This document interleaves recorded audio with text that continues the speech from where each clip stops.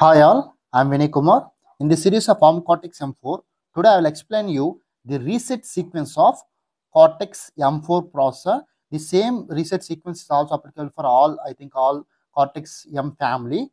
Here, the reset sequence is nothing but after triggering reset button in STM32 board, then what are the steps taken care by the processor after triggering the reset?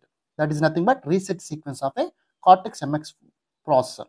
Here see, whenever you reset the processor by clicking the reset button, then the first step is when you reset the processor, the PC is loaded with the value stored in the 0 cross 000 0000.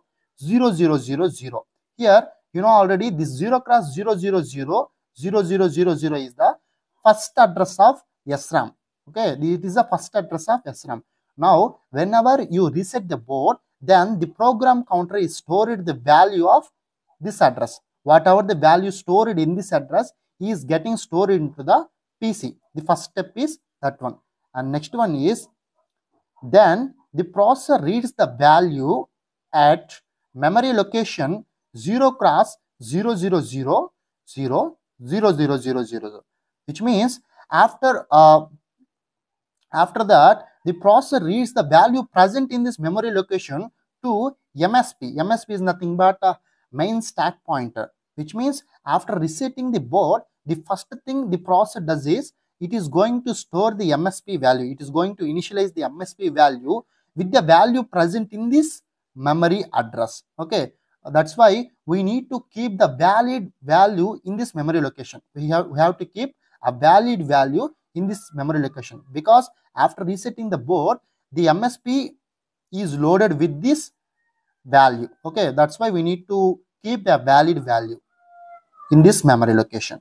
Next here see MSP is loaded with the value at present in this memory location. That is the first step after reset. Here MSP is the main stack pointer register. That means processor first initializes the stack pointer.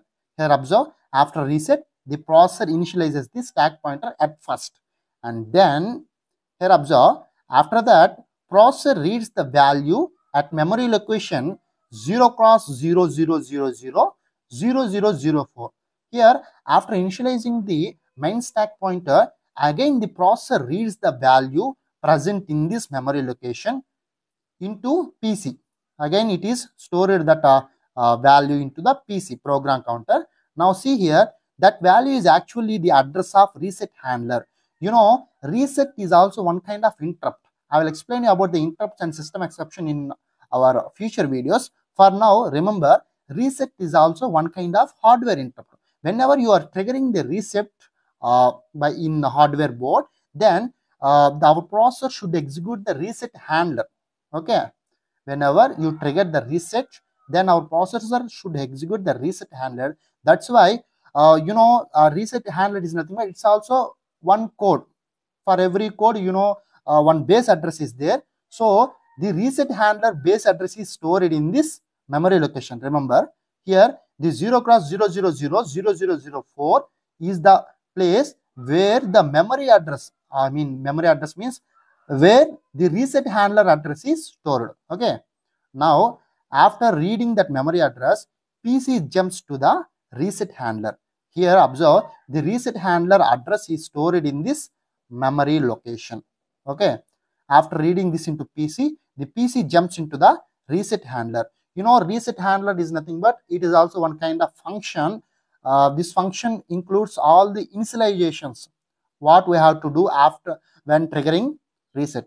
Here see a reset handler is just a c or assembly function. It is also a c or assembly function written by you u is nothing but user okay? Written by you to carry out any initializations required.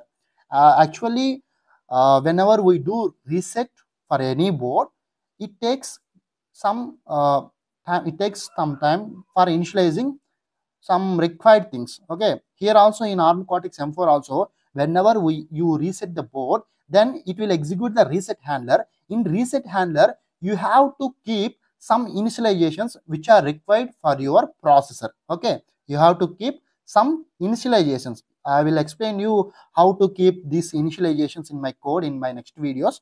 For now, just remember you have to keep some required initializations in reset handler code. The code may be either C or assembly function, whatever your language you are using. That may be your wish. Here see, after initializing all the things in reset handler, from reset handler, you have to call your main function of the application. You know, whenever you are resetting the board, uh, resetting is nothing but it is starting of the board. Whenever you reset the board, the processor starts from the beginning. That's why you have to initialize the required things in the reset handler itself. And the, at the end of reset handler, you have to call the main function for jumping into main function. After completion of initialization, the reset handler should call the main function for continuing the processing. Okay, this is the sequence of reset handling or reset sequence of ARM Cortex M4.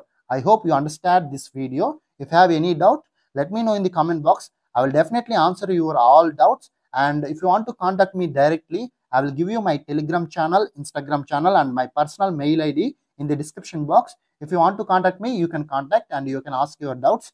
Thank you. Thank you for watching this video.